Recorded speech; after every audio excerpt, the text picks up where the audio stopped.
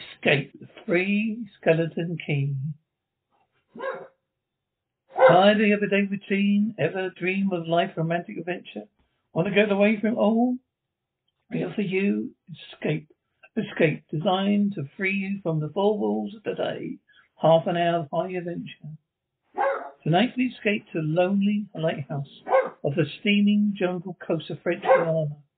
A nightmare world of terror once.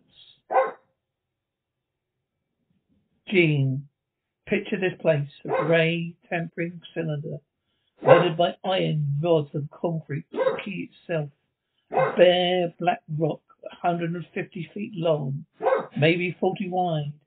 That's a low tide, a high tide, just the light rising 110 feet straight up from the, out of the ocean. All about it, the churning water, grey, green, scum dumpled, warm as soup and swarming gigantic bat-like fish. Great violet schools of Portuguese men of war. Yes, sharks, the big ones. Fourteen footers. If that wasn't enough, there was the hot, dank, rotten smelling wind that came to us day and night of the jungle swamp, the mainland of wind that smelled like death. Center base of light was a watertight bronze door. Door opens, Jean, and in you went. Door slammed shut, footsteps upstairs.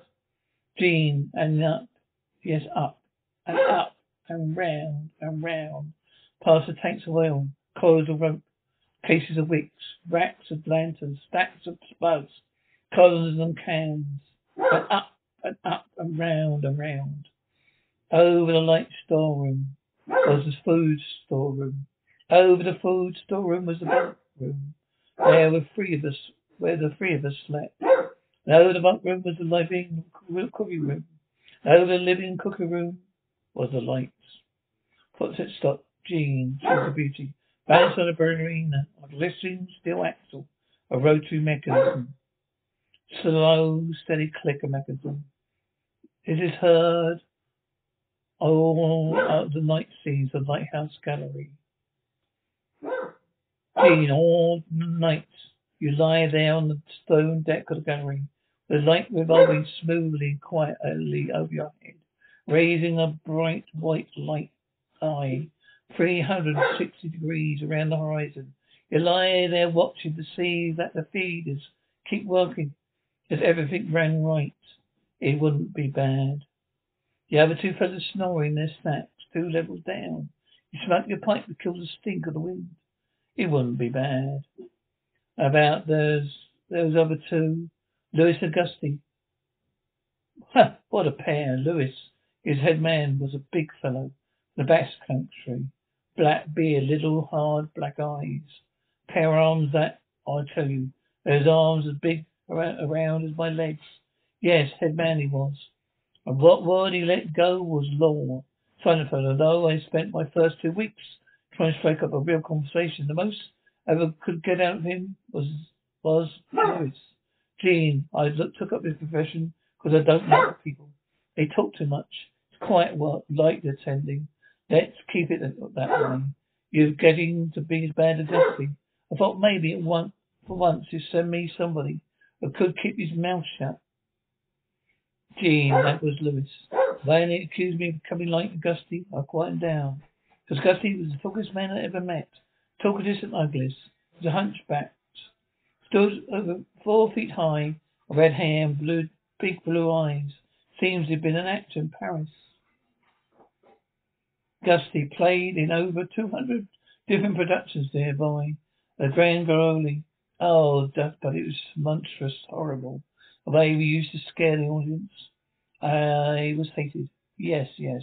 They used to throw things and hiss and bare their teeth at me. Finally got too bad. Couldn't stand it any longer. Gave it a fit on my nerves, you understand.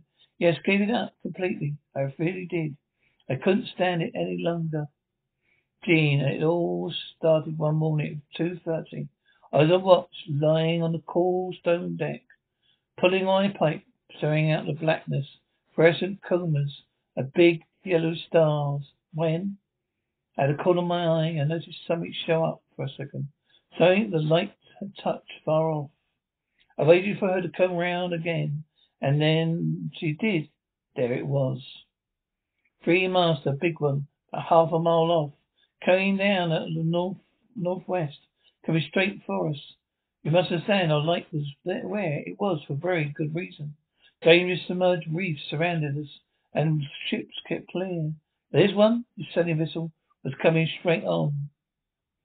Jean's brisk footsteps, Jean. I went over to the gallery door and looked yelled down. Yells, Lewis, Lewis. Lewis yells from below. Huh? What is it? Jean, ship headed for the reefs. Jean. Yells from below. I'm coming right up. Jean, I had the glasses out now. I couldn't read her name. I could see her quite plainly. All sails set, the foam creaming lay under her bow. She's beautiful, a beautiful lines of Dutch ship. Guessed her. And why didn't she turn? Every time it passed, or light hit her, a glare of day. Lewis' footsteps approached. Lewis, ship where? Gee, north, northwest. The light would touch her in a moment. Lewis, ah, well, can't she see us? Jean, look at her. She just keeps coming on. Lewis disgusted the squareheads. Sir uh, Augusti's footsteps approach. Gusty, what is it? What is it? Jean, watch. North, northwest. Gusty after falls. Oh, I know what it is. There's what? Gusty the Dutchman. Blind Dutchman. He did it in a play about her once. Oh, the performance is ghastly cousin, hag rabbins, curse driven, mask on and on. There's oh show it, will you? I suppose oh she's laughing. There's yes. Lewis, it's a sloppy way to come about. Realizes she's derelict. That's it? Jean derelict? Lewis abandoned. Crew left her for some reason or another. Instead of sinking, she's gone on running before every wind. I guess she should not be long run long. Not with those reefs to break her up. There's a beautiful ship now. Why would men leave a ship like that? Jean, she didn't just ram us, though we all respected it. But as we waited for the crash, she luffed again, caught some old gust and went about. We watched the rest of those black hours, heeling and rocking, pushed and pulled, every stray wind, every black creek current, watched all until the till the dawn of time came. Till the sea turned from black to pearly grey, and she came again, heading for us. We had our, our, our glasses trained on her now. Lewis, Augusti, you could kill the light. Augusti, right, Chief. Jean doesn't, she uh, doesn't look so good at, by daylight. Think she'll be ground this time? No, answer from Lewis. I say, do you think she, uh, she'll ground this time? Lewis stunned. Hmm. He said, it's impossible, absolutely impossible. Jean, what? Lewis, here, take my glasses. They're better than yours. Jean, all right? What is it? it it's your, your pauses. I had a focus, and then my breath froze in my throat. Decks were swarming dark brown carpet. It looked like a fun- granitic fungus, but undulating on the masts and yards. The guys all were hundreds, no thousands, no millions. I don't know, an ancestral number of tremendous rats. Do You see them? Jean, yes, I see them. Lewis, now we know why she's derelict. Jean, yes, now we know. Gusty approaches. What are we two, what are you two doing?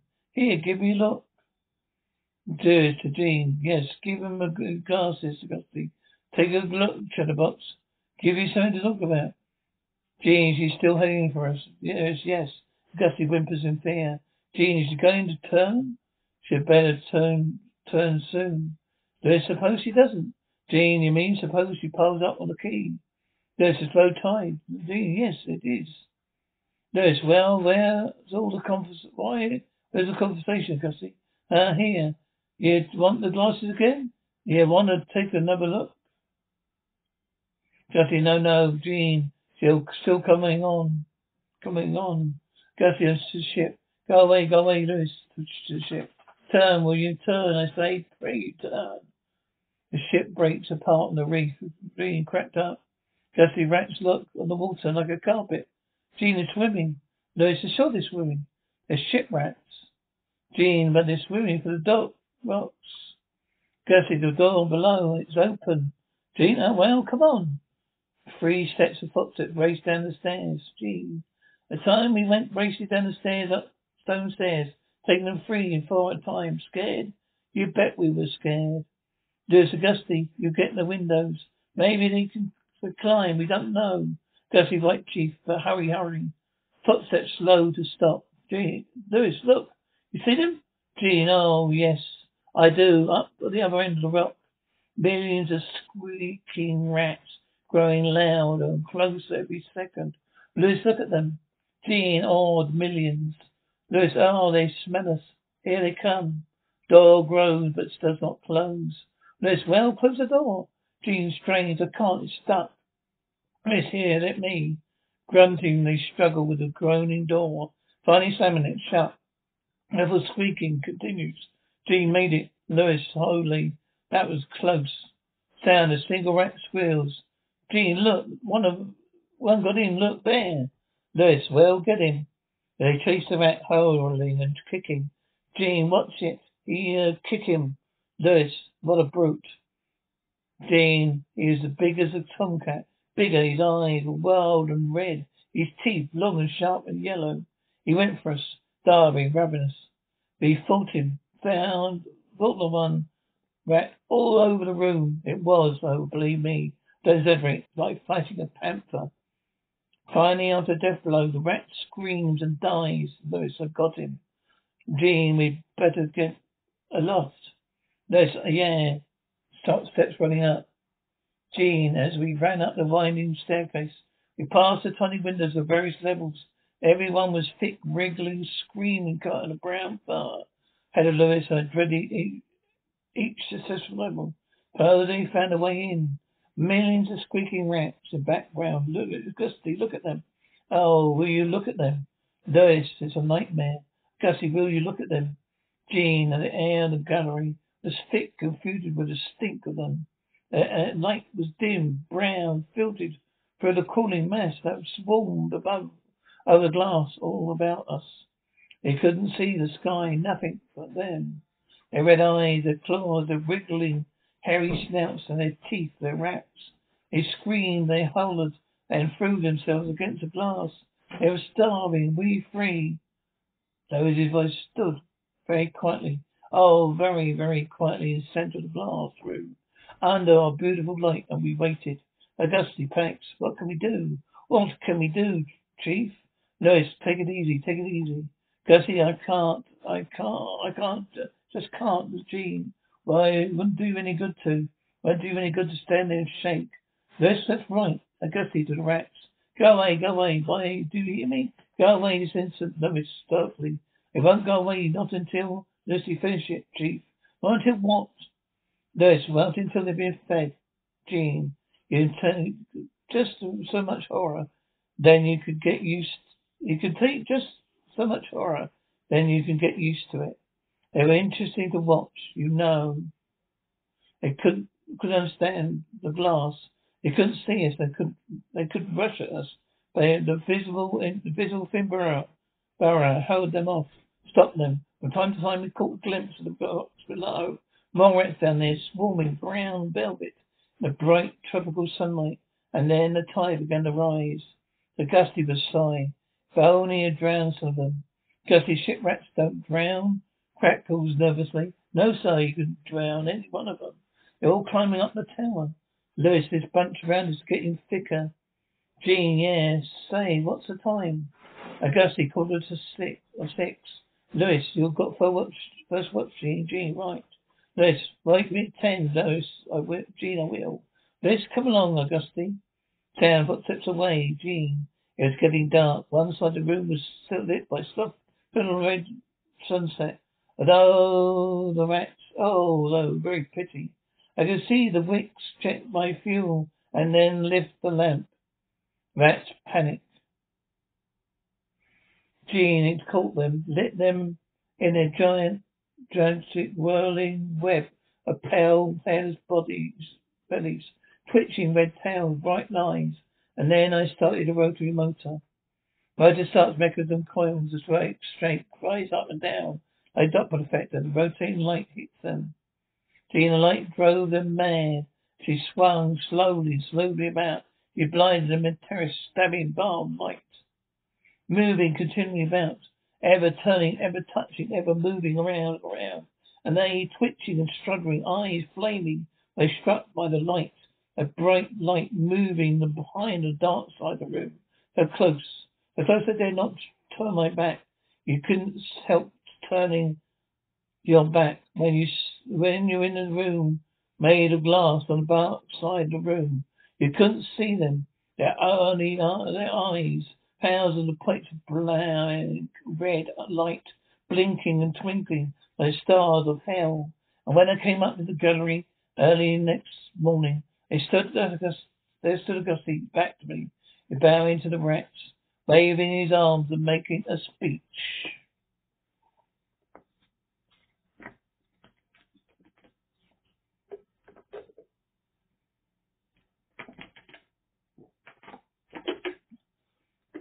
Augusty, my dear, uh, dear, uh, my, my dear, dear friend, audience. I'm going to play again a reminiscent role that may be the toast of Paris theatre. Coraletti, the evil genius of medieval underworld. I am he who did guide the dark soul of de Roche into evil parts. Clinics medically. But do not be frightened, dear children. I will not hurt you much. Jean kept turning. I stood staring at him, horror struck. He didn't notice me. Man had gone mad. He kept turning, telling his stories to all the rats, leaving no one out. To Gusty, Gusty, Gusty, Gusty to Jean. Oh, another one, a latecomer. Take your seat on the toilet. Oh, dear matron.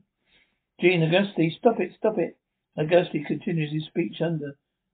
Giangiore, a blood-stained monster, was my partner in the country. Together we disavowed over four hundred little children leaving him warm, blood splattered. Jean narrates, but he didn't stop. He went on, burrowing and scraping to the rats. Big and red, blue eyes rolling and winkling, winking his big red hair, wild red hair, waving back and grabbed him by the arms, then slapped in the face. Jean slapped his face. He looked at me like a child, and then his face screwed up. Looked as though he was about to cry. Harshly to Gusty, go below, go on. Gusty, oh, very well then. Direct later, my dear audience. Later. Direct me today. Jean. Sure he was crazy. I guess we all we all were. A few hours later, here I caught Lewis and me teasing the rats. Yes, sounds horrible. It was fun. We could get right up against the glass and make faces at them. Drove them crazy. They would scratch away trying to get at your eye. Lewis was even cutting about it. He would pull a piece of bread out of his pocket and press it against the glass. Lewis laughs. Jean. The rats would scramble into a solid ball, biting each other, clustering little like grapes. From time to time, a whole knot of them would slip and fall a hundred and ten feet to the surface below. Lewis, look, look at the sharks. Jean, they're eating them. Lewis, those sharks are, our friends. Oh, here, here. Let's get another lunch bunch together. Laughs to the rats. Hey, my beauties. Is that? Oh, that's it. Up. Killed each other. Huh? Laughs. Rats shriek and scratch loudly. Then suddenly pull away. Lewis. There, there they go. Jean and Gusty joined in the two. Very ingenious. Gusty learned that if he spread equal to himself against the glass, the bunch, the bundle against his figure, then they leap, keep, keep, leap back. Gusty, look, my paper changing rats. Jean, we went on all day and then I was lying in bed. It was about midnight. Night. I was very tired. I was just beginning to fall asleep when I came conscious of a new sound. Crunch, odd crunchy noise. Jean couldn't figure it out at first. I got up, lit the lamp and went to the window. Even as I looked out, I saw one of the panes begin to sag in. They'd eaten the wood away. Jean yells, Lewis, come back, come quick. Lewis, what, what is it? Jean, they found a way in. No, I held the glass with my hand. Now they're all going crazy and of the success of this maneuver. They've all enabled away in the wood. Lewis ran below and returned with a sheer, large sheet of tin. Hammering nails, Jean, we spread it against the window, hammered it into place. Even as we did so, we felt the heavy bodies thudding against the weather side. The window gave away. Humming, Henry stopped Lewis. There, that ought to hold. If it doesn't, we're done for. Jean runs. Bats can't run. Eat in? There's no, they couldn't. Distant flashes grass Jean. What was that, Lewis? I don't know. It came from below. Jean, the uh, storeroom window. Footsteps on stairs. Sheets racked loudly. Lewis, they're in. They're swarming up the stairs. Jean, drop the trap. Lewis, right. Wooden do- doors dropped. The two noisy rats shriek. Jean, two of them got in. Lewis, let them go after. Let's go after them. Two men fight with two rats. Jean, we didn't have to do go, do, go after them. They came to us. I leaped to one side and grabbed marlin spikes sprung and smashed one in foot into midair.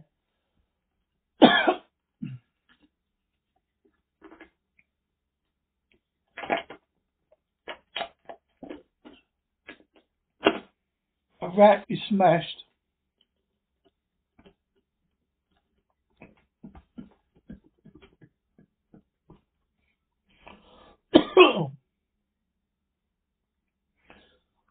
Lewis hollers in pain. Jean, I wailed to see Lewis with the other. He ripped his hand open, his blood was pouring out. He held his hand aloft, kicked at the resulting rat, and stepped and swung and got him. Another rat killed. They saw oh, my hand, he got my hand, Jean. There's both of them, Lewis. I've got you something to tie that up. I'll get, get you something to tie that up. Blood, look at my blood, I'm bleeding. Jean, don't worry about it, Lewis. Here, I'll twine his handkerchief around it. It'll be okay. Lewis whimpers, blood. Lewis whimpers, blood, Jean. Finishes trying. There, there, that's not bad. Just the flesh, their apes. I have become conscious of a new sound. Quiet munching noise. Jean, they were gnawing their way through the wooden door, trap door. I watched the wood fascinated, and even as I did, it began to give way. A bristling, whisky, whiskery noise showed through. To this, we got we got to go up. Scrambling footsteps up the stairs. Jean, the next level was the living quarters, the kitchen, a slammed the trap door. Another door slammed shut. Jean, but it too was wood. Lewis whimpers to so my blood. So Jean, what are we going to do? Jean, I don't know. We'll go through this one in a minute. There is the, the gallery. The trap door in the gallery is metal. Good, come on. Footsteps ran upstairs. Metal door, trap door shown shut. Jean, we made it. Squeaking rats. We laid across the trap door, exhausted. While below us, the rats took over the entire tower. Could hear them howling and fighting over our food supply, and water and leather. And all around us the others screamed and glared at, us, swarmed a tangled mess hypnotized by the ever-turning light. But the morning air in the little room was horrible. Till now, we've been getting air. The tower below. Now that sealed off, so um, all, there was all on food and water. We lay exhausted, panting, waiting and waiting, and the hours crawled on. I was almost dozing from fatigue when I saw a sight that brought me to fast. Gussie to the rats. Would you like to come in, my beauties, would you? I hold the power of life and death. I can let you in if you know. Jean, Gussie was standing by his glass, and one hand he held a big wrench. Wrench cracked some glass. Jean is tapping the glass gently. It's not quite enough to break it. I ease myself to my feet and slowly, very slowly, tiptoe towards him. Gussie to rabbits. All I have to do is tap it just a little harder, Anne. Jean tackles Augusty and knocks him unconscious. Jean, I found a coil wire and toolkit. Trussed him up, fastened him to stanchion. Stanchion of the the room. There is no help. Lay on his side. Look at his bloody hand, weak and sick as a baby. So if I there I was, a lunatic, a of a company, and all about watching on a little Brahman of rats. A day dragged by. The supply boat won't be was due for for another twelve days. I don't know what they could have done if they had come. I had only one way of submarine them. That was to shoot off fresh rockets. But the rockets were four those below. Even if they'd been right there in the gunnery, I couldn't have opened the window to fire them. That night I tended the light, but if its flame was devouring oxygen. And the following day we lay first demented, starving, waiting. The following night I was again tended the light by the, the small supply, bare wicking. We kept in the gunnery, become exhausted quite suddenly. About midnight the light went out. Squealing rats, dream. There was nothing I could do. Wicks was floored three levels below. Nothing I could do, nothing. From time to time, I strike a match to see the clock. Match strikes, back to react. And Jean, and when I did, it lit up a million red eyes about us, all about watching, waiting below. It was grown quiet. They cleaned us out, and there they too were waiting, all waiting. And the rats came quite suddenly was sonnet. Long pause of sonnets. Jean, and then I heard it. Distant correct plays mournful, tuneful, plaintive tune. Jean, and there I saw, and there I saw the sky, the stars. As a goal, I went to the glass, and the water full freighter, barn boat, showing a few lights, came softly and as it toward us. And our lights was out. They didn't know. I wanted to open the window to call out to them, warn them somehow. I was afraid, and what his reps were hiding from me, tricking me, so I waited.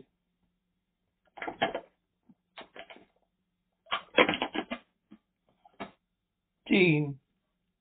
She surrounded very softly on a reef, not two hundred yards from the quay, grounded but so gently. Man playing the cornet. Was he a passenger? Crewman or off watch?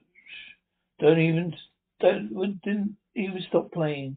They tried washing her back off. I could see them. I could have told them to save fuel. Tide was rising. Then I would have floated her free. And I waited.